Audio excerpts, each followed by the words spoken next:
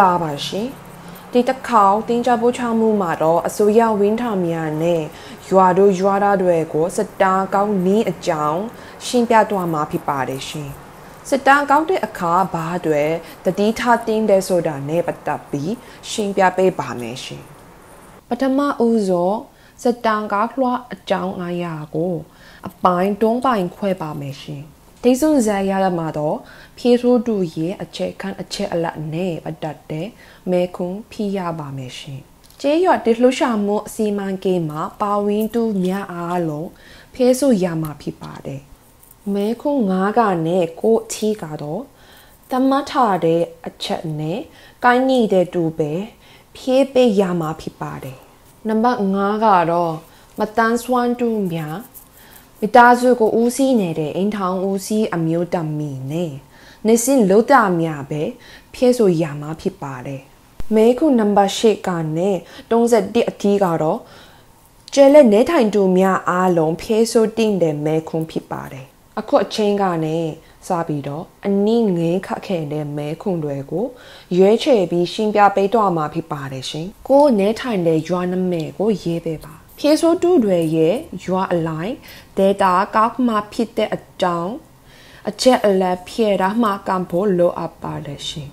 အစင်းလိုက် data ပြီးနေမြို့နယ်နဲ့ကျေးရွာနာမည်ကိုရေးပေးပါရှင်နောက်တစ်ခုကမိမိအသက်နဲ့အမျိုးသားလားအမျိုးသားမင်းလားဆိုတာကိုဖော်ပြပေးရပါမယ်ရှင်ဒီလိုပုံစံဖြစ်ပါတယ် မဲခုလဲကတော့အစင်ညစီမန်ကိမှာမိမိတာဝန်ယူနေတဲ့အပိုင်းကဘာလဲဆိုတာနဲ့ပတ်သက်ပြီးမဲမှာဖြစ်ပါတယ်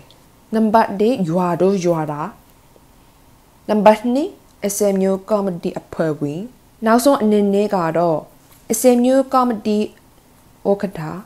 SMU ဩကတာဆိုတာကျဲရွာခေါင်းဆောင်ကိုပြောတာဖြစ်ပါတယ်အပေါ်ကမဲခွန်းတွေကတော့အခြေခံအခြေဆုံးဖိပက်မယ်လေ အရန်အရေးကြီးပါတယ်ဒီမဲခွန်းတွေကိုမမှန်ကန်ကန်မဖြေးဆိုရင် data ခောက်ဖို့အခက်ခဲရှိတဲ့အတွက်ဖြေဆိုတူးများအားလုံးမှန်မှန်ကန်ကန်ဖြေဆိုလဲကြဖို့တောင်းဆိုအပ်ပါတယ်ရှင်မဲခုနံပါတ်5နဲ့6ဖြစ်ပါတယ်ရှင်မဲခုနံပါတ်5နဲ့6ကို cross cutting issue လို့ခေါ်ပါတယ် cross cutting issue ကဘာလဲဆိုတော့ကျမတို့ဟာအားလုံးအတူတကွာကောင်းကောင်းမှန်မှန်အသက်ရှင်နေထိုင်ဖို့အတွက် စီမံကိန်းတွေကိုလှုပ်ဆောင်နေပေမဲ့လေဒီစီမံကိန်းတွေကိုလှုပ်ဆောင်နေခြင်းအတွေ့မှာမာတော်တဆာပဝန်းကျင်နဲ့လူနေမှုအပွဲအစည်းတွေကိုထိခိုက်မိတာဖြစ်ဖြစ်တချို့လူသားစားတွေဖဲဖဲခိုင်ရတာဖြစ်ဖြစ်ဖြစ်တတ်ပါတယ်ဒီလိုကိစ္စရပ်တွေကိုကားကွယ်ထားစီးဖို့အတွက်ပဝန်းကျင်ကြားမရေးရာတန်တူနီးမြစေခြင်းလူအခွင့်အရေးနဲ့အိုးချိုရဲ့စနစ် နဲ့အတူစင်းရသားတဲ့ရဲဘဝနဲ့တိုင်းတိုင်းအချိုးနီးသက်ဆိုင်နေတဲ့ကိစ္စကို cross cutting issue လို့ခေါ်ပါတယ်ဒီလိုကိစ္စတွေကိုကာကွယ်တတ်စီဖို့အတွက်စ조사ရရှိပါတယ်ကျမတို့စီမံကိန်းမှာလည်းပဝန်းကျင်နဲ့ဖဲဖဲခိုင်းရတဲ့လူဒန်းစာတချို့တွေအပေါ် ဘယ်လိုအကျိုးသက်ရမှုရှိမှလဲဆိုတာဒီစတန်လွှားကနဲ့တစင်ကောက်ယူမှဖြစ်ပါတယ်။နံပါတ်5မှာမဲခုံတုံးခုရှိပါတယ်။မတန်းစွမ်းတူတွေအင်တောင်အိုးစီအမျိုးတာမီတွေနဲ့နစင်လောတာတွေသာအောက်ပမဲခုံကိုဖေးပေးရမှာဖြစ်ပါတယ်။အင်တောင်အိုးစီအမျိုးတာမီဆိုတာကတော့မိသားစုစဝိနေရဲ့အတွက်တယောက်ထဲတာဝေးယူနေတူကိုပြောတာဖြစ်ပါတယ် တနေ့အဖင်အမျိုးသားကဒိုင်းရရပြီးအလို့မလုံးနိုင်လို့မိသားစုစာဝင်းနေရဲ့ကိုအမျိုးတမင်တယောက်တည်းရှားဖွဲ့နေတာဖြစ်ဖြစ်မိသားစုဝင်းထဲမှာအလို့လုံးနေတဲ့သူတယောက်မှမရှိပဲအမျိုးတမင်တယောက်တည်းရှားဖွဲ့နေတဲ့အချက်အနဲ့ကိုစိုးလို့တာဖြစ်ပါတယ် နဲစင်လွတ်တာဆိုတာတနေ့လုံးမှာတနေ့စားရတယ်လူတွေကိုဆိုလိုပါတယ်အပေါ်ကအချက်တွေနဲ့ကိုင်းနေတဲ့တူတွေပဲမဲခုနံပါတ်5ကိုဖေးပေးပါကျန်းတဲ့တူတွေကတော့နံပါတ်6ကိုကြောသွားပေးပါနံပါတ်5ရဲ့မေခုနံပါတ်1ကတော့မတန်းစွမ်းတူအိမ်ထောင်ဦးစီးအမျိုးတာမီလက်စင်လွတ်တာတူတယ်ဆိုရင် ဒီစီမံကိန်းမှာတတကြွကြပါဝင်ခဲ့ခြင်းရှိမရှိဖြည့်ပေးပါပါဝင်ခဲ့တဲ့ဆိုရင်ပဲမပါဝင်ခဲ့ဘူးဆိုရင်ညဘက်ကအကွက်ကိုရွေးပေးပါဒီမဲခွန်းကိုမေးရတဲ့အကြောင်းရင်းကတော့ကျမတို့ရဲ့စီမံကိန်းမှာတချို့လူဒန်စာတွေရောအကွန်ပါဝင်နိုင်ကြတာလားဆိုတာသိချင်လို့ပြပါတယ် တကယ်လို့မပွိုင်းနိုင်ခဲ့ဘူးဆိုရင်တော့လူဒန်စာအကွန်ပါဝင်နိုင်ဖို့နောက်စီမံကိန်းတွေမှာစိုးစားရမယ်လို့ခံယူထားပါတယ်နံပါတ်5ရဲ့မေခွန်းနံပါတ်2ကတော့ဒီစီမံကိန်းအကြောင်းကိုယ့်ရဲ့လူနေမှုဘဝအတွက်အခက်ခဲတစုံတရာရှိမရှိ အကြောင်းနဲ့ပတ်သက်ပြီးမဲမဖြစ်ပါတယ်စီမံကိန်းလှုပ်ဆောင်နေမှုကြောင့်အလုတ်မလုံးနိုင်တာဖြစ်ဖြစ်ပတ်စံမရှာနိုင်တာဖြစ်ဖြစ်ရှိခဲ့ဘူးတဲ့ဆိုရင် ပဲပဲအစွမ်းဆုံးကိုရွေးချယ်ပေးပါ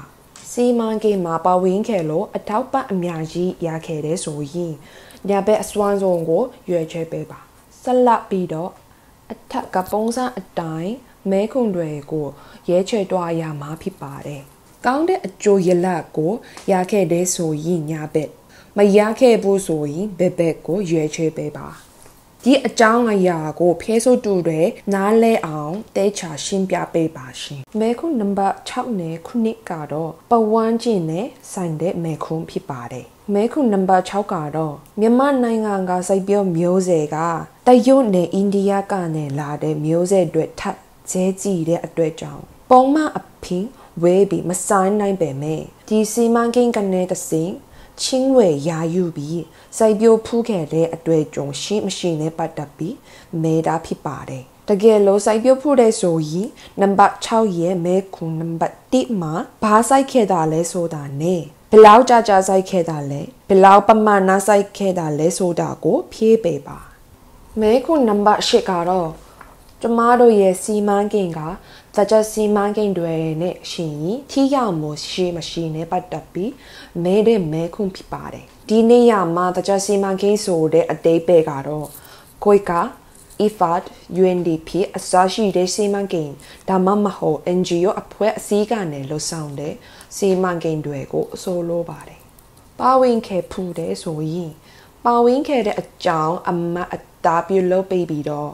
ပါဝင်ခဲ့တဲ့စီမံကိန်းရဲ့နာမည်ကိုရေးပေးပါနောက်ပြီးတော့နံပါတ်8ရဲ့မဲခုနံပါတ်1မှာအစင်ညစီမံကိန်းကပါဝင်ခဲ့ဖို့တဲ့တခြားစီမံကိန်းထပ်စာရင်မိမိရွတ်အတွက်ဘယ်လောက်အထိအကျိုးသက်ရောက်မှုရှိတာလဲဆိုတာကိုနံပါတ်1ကနေ9အတွင်းရွေးချယ်တတ်မှတ်ပေးပါနံပါတ်9ကတော့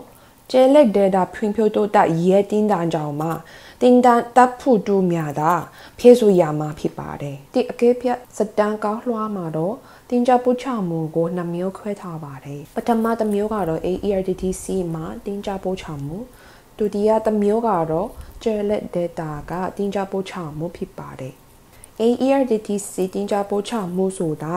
မနာကင်းစူဝဲတာပုံမှန်အားဖြင့်တရားအားထုတ်ခြင်းတချင်းတမ်းပြိုင် စကားဆူဝဲပြောချိန်ပေးခြင်းတင်းတမ်းပေးခြင်းနဲ့စကားယူလိုပွဲလဲလာရေးခါကြီးတယောက်နဲ့တယောက်ရင်းနှီးမှုရာယူစေတဲ့စကားဝိုင်းတွေကိုဆိုလိုပါတယ် AIDDC မှာအထက်ပါတင်းကြပိုးချမှုကိုပြုလုပ်ဖို့တဲ့ဆိုရင်မဲခုနံပါတ်6ကိုဖြည့်ဆို့ပေးပါ မဲခုနံပါတ်30ကနဲ့စခွန်ထီကကျေးရွာနေဆိုင်တဲ့မဲခုဖြစ်ပါတယ်ကျဲလက်တဲ့တာနေထိုင်တူများအားလုံးဖဲဆိုးရပါမယ်ဒါဆိုရင်မဲခွန်းနံပါတ်30ကိုစတင်မှာဖြစ်ပါတယ်။ကျမတို့ရဲ့ကျဲရွာမှာရရှိတဲ့တင်ကြပိုးချမှုက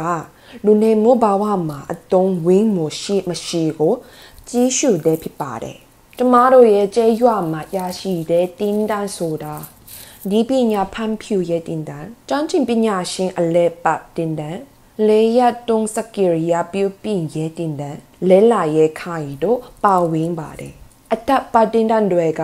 အထောက်အကူဖြစ်ခဲ့လားဆိုတာကိုဖေးပေးရမှာဖြစ်ပါတယ်ရှင်မဲခုနံပါတ်7နဲ့စနစ်များဘယ်တစ်ခုကအကောင်းဆုံးလဲဆိုတာရွေးပေးတဲ့မဲခုဖြစ်ပါတယ် လူတွေအတွက်ဘယ်တင်တန်ပိုးချမှုကပိုးပြီးတော့အကျိုးရှိမှလဲဆိုတာသိချင်လို့တကူဒေတာရွေးချယ်ရပါမယ်ရှင်ဒုတိယမဲခွန်ကတော့အကျိုးသက်ရမှုမစီတော့တင်းတန်က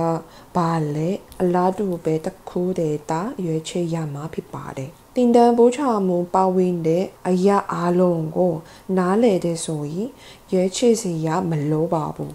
နောက်ကတော့မဲခုနံပါတ်16ဖြစ်ပါတယ်မဲခုနံပါတ်16ကတော့ငွေငွေနဲ့ပတ်သက်တဲ့မဲခုဖြစ်ပါတယ်လက်သမားတွေရဲ့ငုံဝဲဆိုရင်စိုက်ပျိုးရေးစီမံကိန်းတွေအတွက်အရေးကြီးဆုံးဖြစ်တာလို့တိုင်းသားဖို့အတွက်လည်းအခက်ခဲဆုံးဖြစ်ပါတယ်။ဘာကြောင့်လဲဆိုတာလက်သမားတွေကမိမိအရှိတဲ့ငွေငွေကိုမှတ်တမ်းမှတင်တာကြောင့်အမျက်အဆူက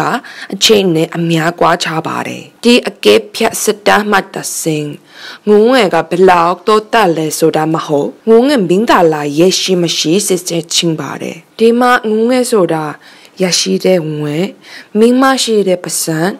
မင်းမျိုးရဲ့ချအရဲ့အတွက်နဲ့မင်းနေရဖြစ်ဖြစ်ကိုဆိုလိုပါတယ်ဝင်ဝဲတိုးလာတယ်တော့ဖြည့်တဲ့တိုးဆိုရင်နံပါတ်16ရဲ့မဲခုနံပါတ်1ကိုတွားပြီးတော့ဝင်ဝဲအတွက်အများဆုံးပန်ပေါ်ပိတ်ခဲ့တဲ့အရာကိုရွေးချယ်ရမှာဖြစ်ပါတယ် တကယ်လို့ဥပမာတုံးမျိုးကိုမတုံးမပြူနိုင်ဘူးဆိုရင်အောက်ခြေရှိတဲ့အခြားကွက်လန်တွေထဲမှာ dialect စာရေးပေးပါရှင်မဲခုနံပါတ်စခွန်းကတော့လူမှုအရင်အနည်းနဲ့ပတ်သက်တဲ့မဲခွန်းဖြစ်ပါတယ်။အဲဒါကြောင့်အစညူစီမန်ကိန်းကတော့လူမှုအရင်အနည်းတိုးမြင့်ခဲ့ရှိမရှိမေးမြန်းတဲ့မဲခွန်းဖြစ်ပါတယ်။လူမှုအရင်အနည်းကဘာလဲဆိုတာ တအူးချင်းစီမှမရှိပဲနဲ့တရားချင်းစီမှလည်းမရှိပဲနဲ့လူမှုရဲ့စက်နွယ်မှုများမှတစင်လူမှုဆက်ဆံရေးမှတစင်အခြားသူများရဲ့အရင်အမြတ်များကိုစီးယုံနိုင်စွာနဲ့ရည်ညွန့်ကိုပျော်တာဖြစ်ပါတယ်။တနေ့အပြင် data ခန့်ရရွာလူထုများပါဝင်မှုငွဲ့စုယုံကြည်မှုကုညကိုဆိုလိုပါတယ်။နေထိုင်တူစတမ်းများမှာ လူမှုအရင်အနည်းအတွက်အောင်းမိမှုရှိမရှိကိုစိပိတ်ရမှာဖြစ်တဲ့အကြောင်းအောင်မြင်ခဲ့တဲ့ဆိုရင် yes ကို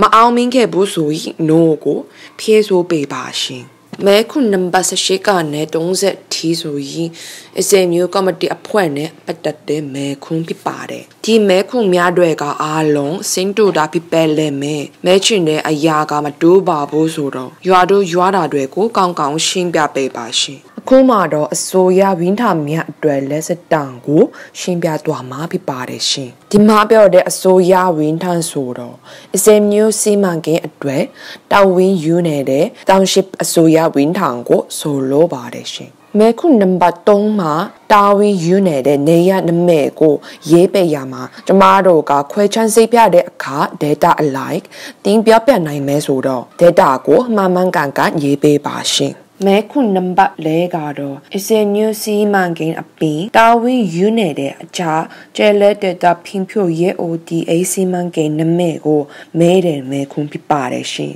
ဒီနေရာမှာ ODA စီမံကိန်းဆိုတဲ့အသေးပဲကတော့အစိုးရနဲ့အခြားအများပြည်သူဆိုင်ရာအဖွဲ့အစည်းများကဖွံ့ဖြိုးဆဲနိုင်ငံများရှိစီးပွားရေးဖွံ့ဖြိုးတိုးတက်မှုနဲ့လူမှုဖူးလို့ရေးကိုမြင့်တင်ရရည်ရဲပြီးတော့ပေးတဲ့အထောက်ပံ့မှုကိုဆိုလိုပါတယ်ရှင်တနေ့ပြောရရင်တော့ Quaker Effort တူတဲ့ agency များနဲ့အစိုးရတွေကလှူဆောင်နေတဲ့စီမံကိန်းကရှိမဲဆိုရင်အဒီစီမံကိန်း project နာမည်ကိုရေးပေးပါရှင်ဒီမဲခွန်ကတော့စီမံကိန်းအတော်များများအတွက်အစိုးရတာဝန်ရှိသူများကိုအစင်ညူစီမံကိန်းရဲ့ထိရောက်မှုမဲချင်တာဖြစ်ပါတယ်ရှင် အစင်ညူစီမံကိန်းလွယ်အခြား project များမှာတာဝန်မရှိဘူးဆိုရင်မဲခွန်လဲနဲ့ငါကိုကြောနိုင်လို့ရပါပြီရှင်မဲခုနံပါတ်6ကနေ20ခုထီဆိုရင်နေထိုင်တို့မြမြအတွက်မဲခုလွှနဲ့စိမ့်တို့ပါတယ်ဆိုတော့ဒါကြောင့်ရှင်းပြချက်ကိုချန်လှုပ်ပါမယ်ရှင်မဲစေရရှိမယ်ဆိုရင်ကျမတို့ရဲ့ Facebook ကိုမှတ်ချပေးပါရှင်ကျမတို့ကအမြန်ဆုံးဖြည့်ပေးပါမယ်ရှင် အခုချင်းကြီးမဲခွန်းတစ်ခုစီက